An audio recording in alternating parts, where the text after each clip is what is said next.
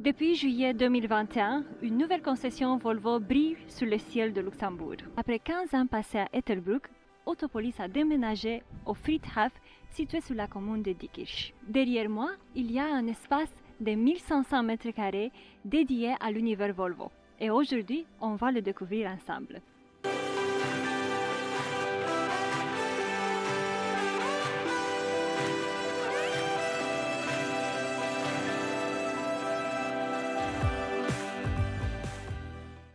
Pourquoi est-ce que vous avez pris la décision de déménager au Friedhof à Diekirch Alors pour plusieurs raisons. hein. La première raison, c'est que ben, depuis 15 ans, nous étions à Ettelbruck, hein, donc euh, pas très loin d'ici, à 7 minutes, 7 km. Et euh, voilà, le- l'endroit était devenu pour nous euh, un petit souci dans le sens où Volvo vient avec un nouveau concept qui s'appelle VRE et nous voulions absolument donner à notre clientèle du nord du Luxembourg ce, ce concept. hein, euh, et, il n'était pas possible de, le faire, de le réaliser à Ettelbruck.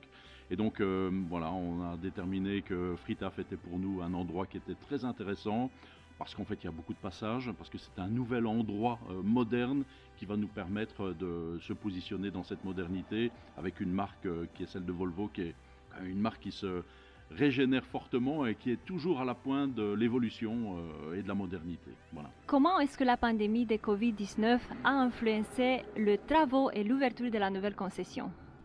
Oui, ça c'est naturellement le sujet toujours compliqué, le Covid-19. Malheureusement, euh, le Covid a reporté de plus d'un an euh, l'ouverture de notre concession. Donc euh, voilà, on n'a pas été naturellement les seuls à subir ce Covid. Nous avons dû le subir dans le temps. Euh, mais ça n'a rien changé à notre détermination, donc euh, notre équipe s'est encore euh, mieux préparée. Et je dirais qu'aujourd'hui c'est un mauvais souvenir. Et on part vraiment vers le futur avec cette belle concession. Quelles sont vos attentes en ce qui concerne les commandes en 2022 Oui, là, on est face aussi à quelque chose de compliqué, hein, qui est une des conséquences du Covid, c'est le manque de production de voitures, hein, clairement.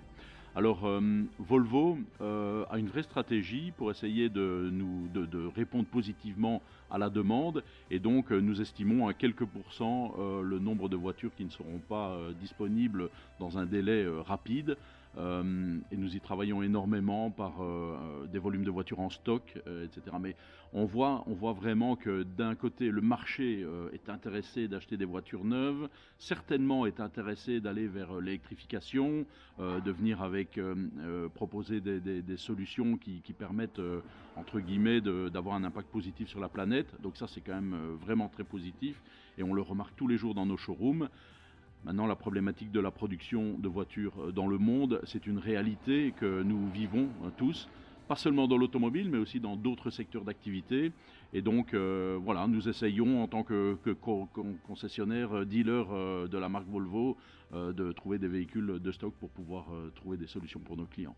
Un des éléments importants à ajouter justement par rapport euh, à l'offre qu'on peut proposer dans un marché euh, qui demande, hein, euh, qui est vraiment intéressé d'acheter, cette proposition c'est Select. Select, Volvo, ce sont nos voitures d'occasion qui sont des voitures sélectionnées, hein, premium, avec euh, 120 euh, points de contrôle et on pourrait considérer que ce sont des voitures qui sont quasiment neuves. Et souvent nous avons des opportunités de voitures avec quelques milliers de kilomètres que nous offrons à nos clients. C'est aussi une euh, solution à ce moment-là pour pouvoir faire face euh, à la demande et naturellement répondre positif euh, à nos clients. C'est important pour nous. Quel est le plus vendu modèle Volvo? Ah, chez nous à Luxembourg, en fait, on a un ex aequo. on a un ex c'est la Volvo XC40, qui naturellement est une voiture formidable.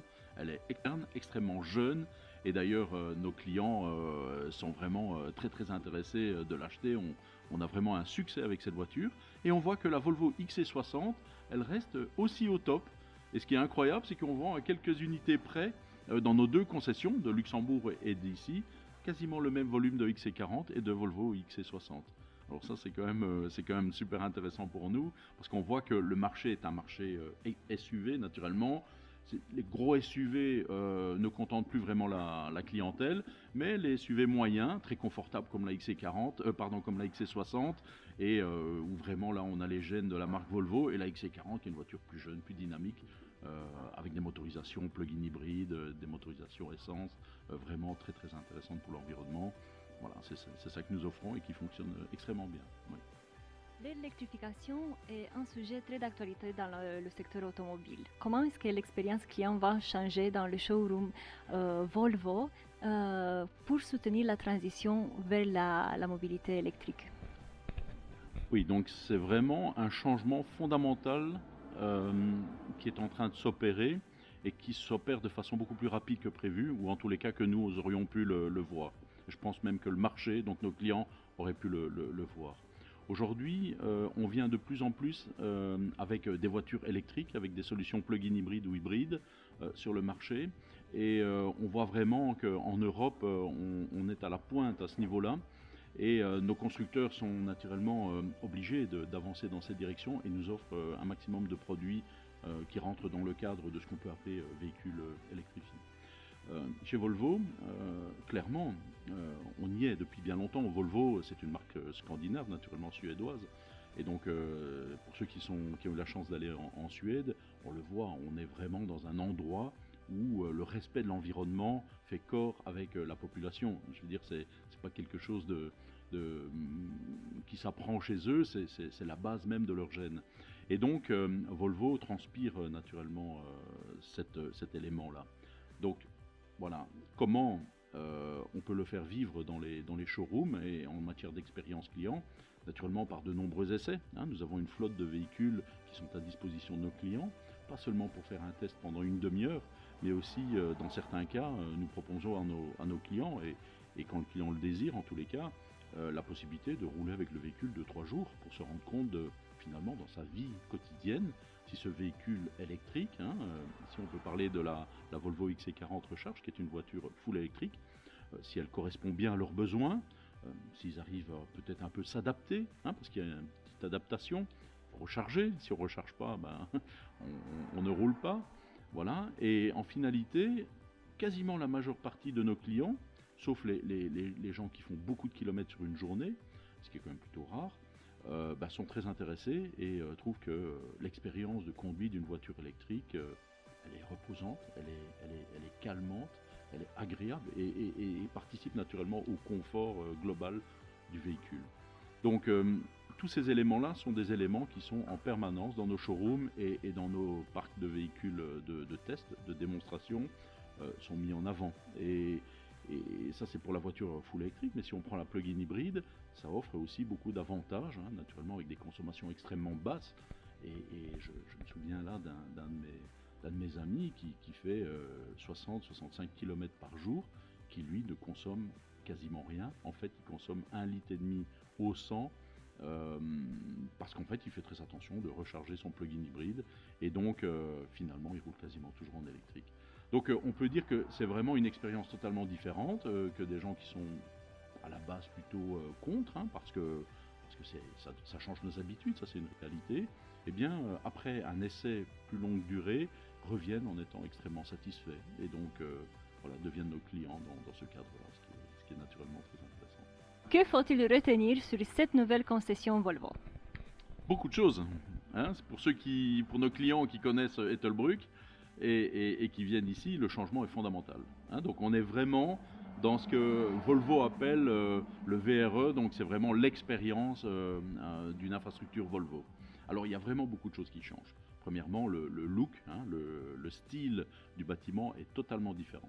Donc l'idée c'est vraiment d'avoir un masquage des vitrages et comme certains produits de luxe, avoir certains éléments fenêtres dans lequel, derrière lequel on peut positionner un véhicule. Donc quand on passe euh, à l'extérieur du bâtiment, on voit quelques véhicules qui sont vraiment mis en avant. Donc ça c'est quand même quelque chose qui est fondamentalement différent de ce qu'on peut voir en général dans une concession. Et là aussi, Volvo a osé euh, venir avec quelque chose de différent, c'est-à-dire euh, en général on a des grandes vitrines, tout est ouvert et on voit une multitude de voitures dans le showroom.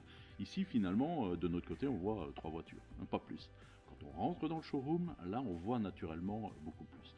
On a quasiment 750 euh, mètres carrés de showroom, donc c'est un grand showroom.